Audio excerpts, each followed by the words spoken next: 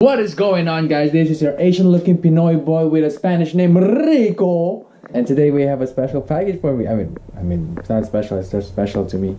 So I don't know which is which. Uh, so I have, maybe this is the window visor and this is the vortex generator. I know, I know, this is none of any performance mods, but it's gonna add pretty look to my car, which I haven't had for a long time.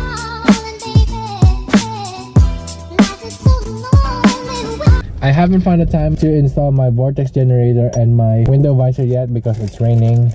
And most people advise to not uh, get the 3M tape wet. It's been raining the past few days, so I haven't installed it yet. So we're gonna show you the installation. A very quick installation. Ng screwdriver. Para saan? Para dito. For um, the shift knob.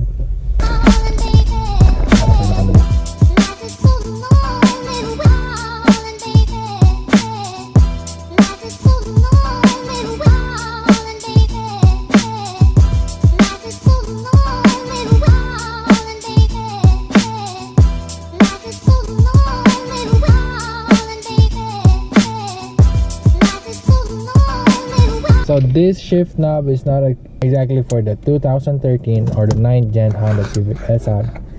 This is a, this is a universal part, so it doesn't have any thread, which make it easier to install.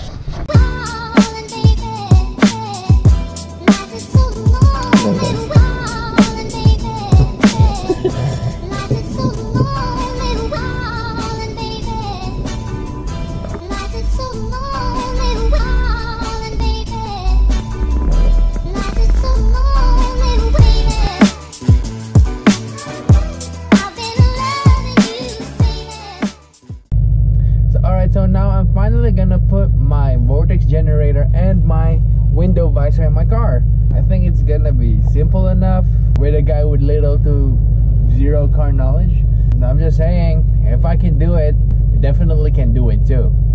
But with the vortex generator, a lot of people think it does nothing. Well, you're right. It's just for the looks, I guess. And then for the window visor, I just want to open my window sometimes when it rains, or I, I want to leave my windows open when it's hot and make it look like it's closed.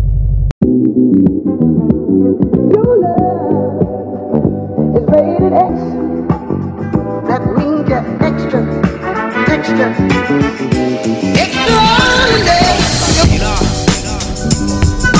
What I'm using is uh, washer wipes from Armor All.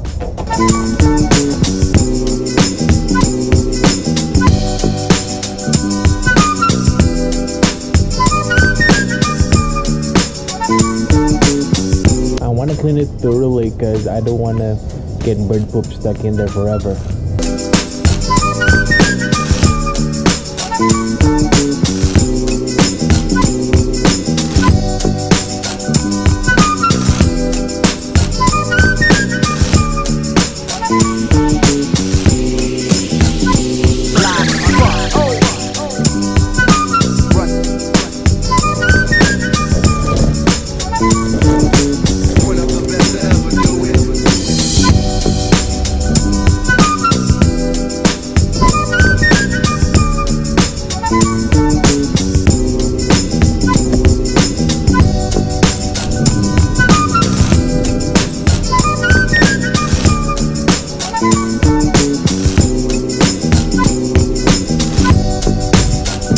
Now I'm gonna test fit this side of the door because I don't want to.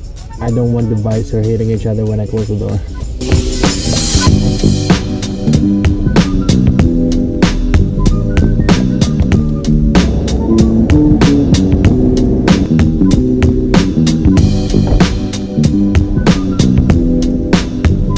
I just realized I forgot to clean the window before putting it in.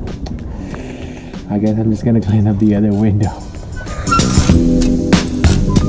Now to show you the finished product of my car.